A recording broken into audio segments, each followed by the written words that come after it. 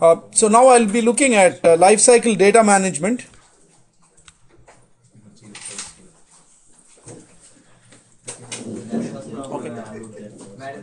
So this is just a, you could almost say a grab bag of topics which they have just collectively put together under lifecycle data management. So essentially here what we see is that every product has a life cycle and you know the information uh, you need to keep some information track some information consistently over the life cycle of the product and there are some features in SAP that support some of these things. Did you put this up? I did. Not, I, yeah, I put it up just a couple of hours ago. Okay, so uh, one important aspect of any of these kinds of system is document management, right? We keep talking about documents in many of the other modules, but you need some way by which the system can store documents and also connect documents to various parts of SAP. So for example, uh, you should be able to take a document, a scanned document for example, which is sitting inside in some area of SAP and connect it to any of the master data. Okay, uh, so for, for example, you receive an invoice in the mail and you entered the invoice, but you also want to keep a copy of the electronic invoice somewhere in the system and be able to, let's say, connect from the corresponding accounting transaction to the actual invoice. Okay, so you have these kinds of requirements, or uh, you're doing something uh, with respect to engineering, there's an engineering drawing, and you need to be able to go from the material to its drawing. Right, so navigate from the material to the drawing. So these kinds of things, all of that is supported within the document management aspect of SAP, which we'll be looking at shortly. Then another set of things is what is called product structure management. Okay, just, just convenient ways by which you can look at the bill of material and the routing for a product easily.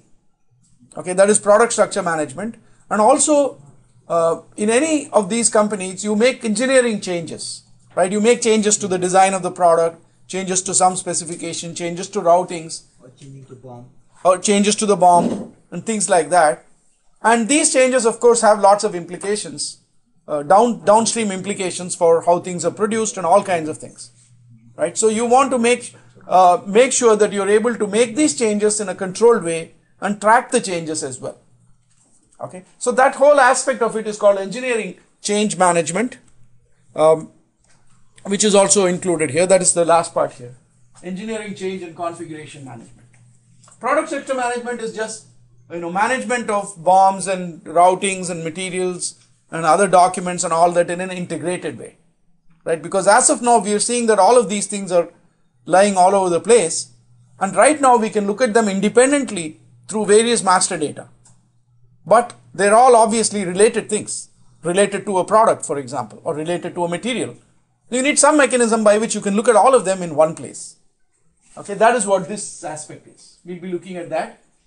Uh, and then, of course, integration of various computer-aided CAX, you know, CAD-CAM kind of systems to SAP. Because after all, in SAP, you're dealing with manufacturing, but the actual design of the product is done using some CAD-CAM systems. SAP has not got into that arena yet. Okay, no, they probably will not get into that arena. It's too specialized. But you need a way by which you can connect from your SAP ERP system to those other systems. Right? So the drawings and things like that, engineering specifications may be created in an outside system, but you may want to connect that to SAP. Okay? And probably exchange data in both directions. So that is the uh, integration with computer aided uh, CAD CAM design and manufacturing systems. Right? So these are all the various components that we'll be talking about in this chapter. Okay, so document management is integration of external files into SAP, right? So here you see here uh, some of the external files may be things like a numerically controlled program. You know, you've got a lot of numerically controlled machines that are used in manufacturing.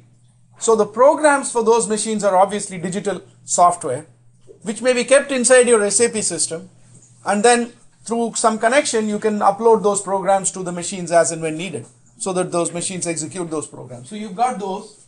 Uh, so you've, you've got scanned documents like contracts and so on. Okay, so you've got all of these sorts of documents that you may create. okay, it's from external systems, and you want to connect it to your SAP system, the main conduit for this connection is your document info record. Okay, so document info record is the one that has a linkage to the actual document and it has all the information necessary about the actual document. And it is the document info record that you will connect to various SAP objects like materials and anything. It doesn't matter. You can connect a document to any SAP object. Okay so that's the idea. And by their definition a document is the combination of the document info record and the original doc I'm assuming this is what they mean by original document whatever it's a combination of the document info record and the original document. Together, that is what is called document in SAP. Right? And of course, original document we are talking about is the scanned or otherwise electronic version of the document that is kept in SAP. And these documents, of course, have uh, you know security issues involved. You can't place certain documents for everybody to see. So that management of that security is also part of the SAP system. So you can keep these documents in secure storage areas and control accessibility through usual access controls. You know, only people who are allowed to see those documents will be able to navigate to those documents. So that mechanism is available. Okay. So this, like I said earlier, the document info record is the conduit. By conduit, I mean it's the connection between the various SAP objects and the actual document. Okay. Now, once you have created this link, access controls exist like I had said earlier. Once you have created the link of connecting the document info record to SAP objects, after that, you can navigate directly from the SAP object to the documents. You don't have to then go through the document info record. The purpose of this is only to establish that connection. Once the connection is established, you can go directly from SAP objects to the documents. Okay, so the document info records have various functions. Uh, they support uh, version management, status management, classification, we'll be talking about it shortly, and secure storage areas, which I just spoke about. So uh, they support all of these things. Uh, and within SAP, when you connect a document uh, info record to an SAP object, that's called as an object link. So that is what it allows. And the document info record also has PLM interface. PLM interface is what is used for uh, external systems. They call it the PLM or product lifecycle management interface through which you can connect to you know design systems for example and the document can then be a file in the design system. The design of a product as created in a design system. Yeah. The object link, does it connect the on the previous slide? Is that the connection between like your material equipment? Yeah, that's the object link. This is the object link. All of these are object links. Yeah. Okay. And uh, there is this thing called as the ECL viewer in Microsoft Office integration, which is again part of the integration scheme, whereby you can actually display and process the originals uh, from within SAP, or of course you can handle them out in the original programs also. Okay, and there are a couple of options here for how this can be achieved as well. Okay, and then you have this thing called as the uh, easy DMS interface, right? Easy way to view and change the objects without specialized knowledge and without SAP GUI. We'll see this aspect also shortly. What is ECL? You mean the you mean the expansion for ECL? Yeah. uh, It doesn't matter. Yeah. Okay. So we are just showing here that you can link document info records to pretty much anything within SAP. Okay. So any any SAP thing can be connected to a document info record. okay. We have already seen this. You can link them, and once you've linked them, you can navigate without actually having to view the document info record. And the linkage is possible from both sides. So from a document you can go to you know all the SAP objects to which it is linked and from an object you can go to the document to which it is linked. So it's bidirectional, and it's not a one directional link. and as I've already said, once you have linked it, you can go directly. You don't have to look at the document info record. Okay. So this is the PLM interface for data transfer, product lifecycle management interface. And usually you can link to many things because it's after all, all of these linkages are probably just protocols. Any program that can speak the protocol can actually link to SAP, but it's typically linked to these kinds of programs, right? So computer aided engineering, computer aided design systems, geographical information systems, GIS, uh, office applications, and classification systems. We'll talk about classification systems here. Uh, SAP has a classification system, but sometimes it's possible that a particular company may not be using SAP's classification system.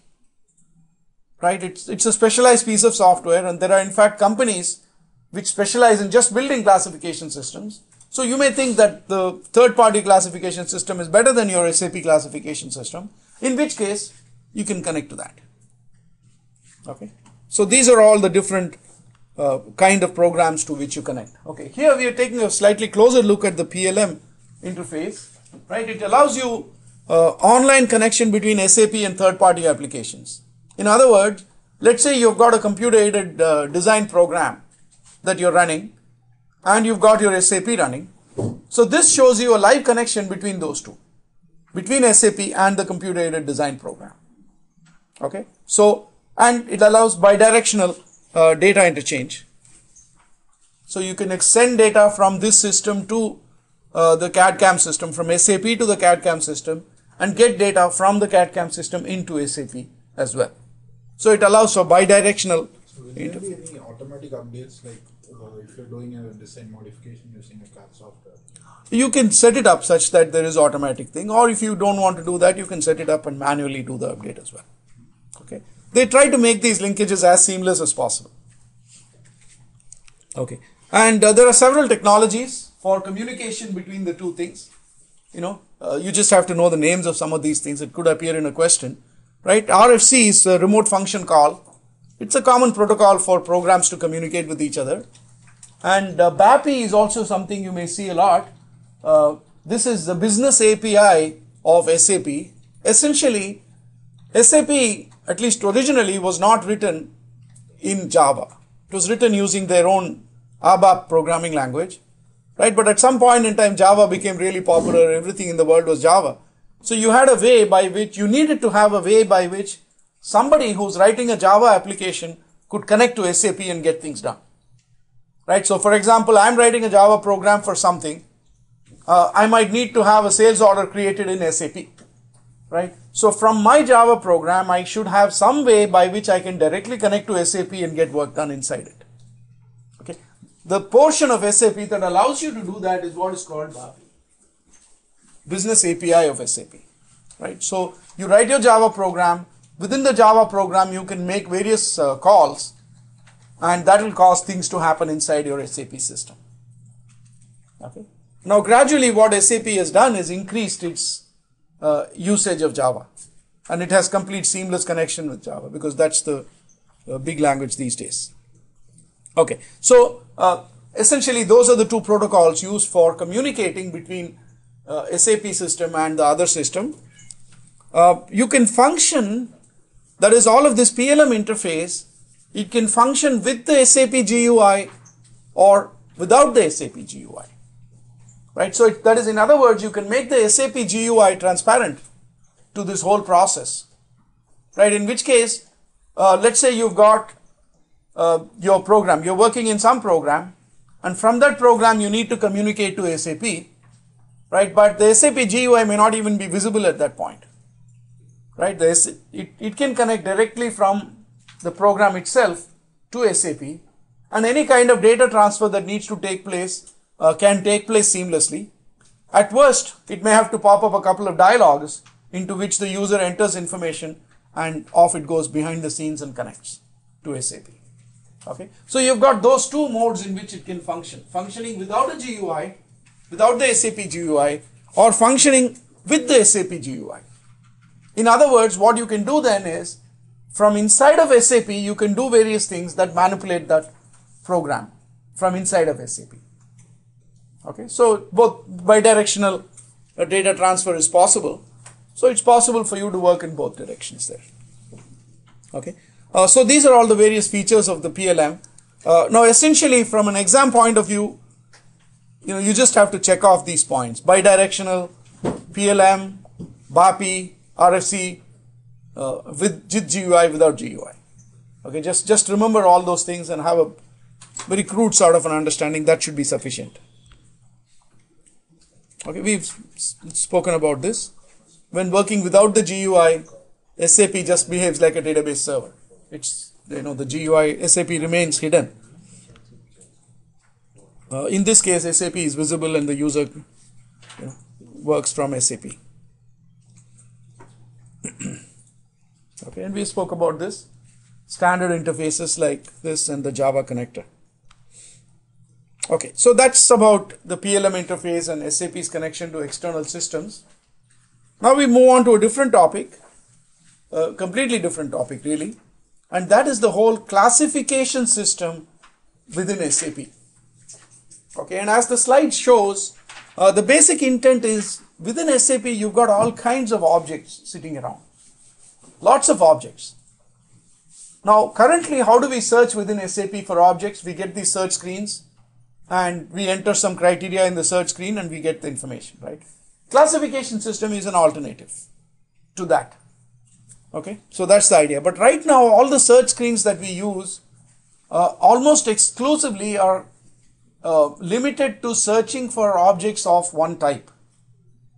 Right, so you go and search for sales orders and you enter various criteria, but what you're looking for are sales orders, right, or purchase orders, all objects of one type. But it's possible that you may be looking for objects of different type that satisfy certain criteria. Right? A very generic kind of search. That's what the classification system enables. Okay. Um, so it supports searching for objects by attributes of the object rather than knowing the number of the object, knowing the object number. Okay. So for example, let's just give, I want to give you a really broad overview of how this classification works. And the central concept there in classification, of course, is the concept of a class. Okay, so here we, I'm just considering to be consistent with the example given in the slides. Let's say there is a class called paint. Okay, class is just some kind of a group or category or type. Okay, there is a class called paint and this paint class has two attributes called color and gloss, let's say. Okay. So this color is just a textual attribute. It can be things like red, green, blue, yellow, orange, etc. and gloss is just a, a boolean field, yes or no. Right. So red glossy would be color red, gloss yes. That would be red glossy. Okay. So you got this class. As of now, this class is just sitting out there all by itself, not connected to any SAP object. Okay, but now, uh, and these are called characteristics. Okay, another another different use of the word characteristics, right? So, not characteristics and key figures, but this is characteristics from the classification system point of view, with no connection whatsoever to that other characteristics. Okay, so class has characteristics.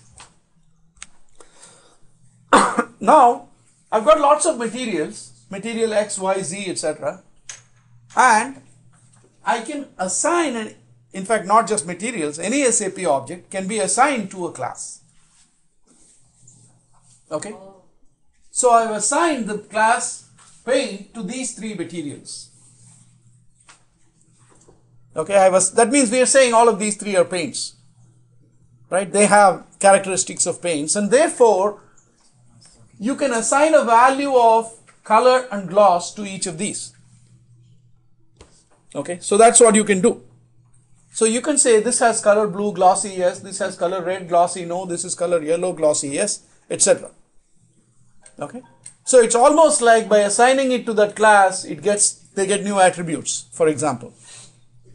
Okay, so now once you have done that, uh, you can now search for you know when you go and search for uh, you know a paint so you say i want to search for a paint that means any object that is connected to the paint class and then you say i want this color and i want it to be glossy or not glossy and the system will search and bring out all the matching objects for you.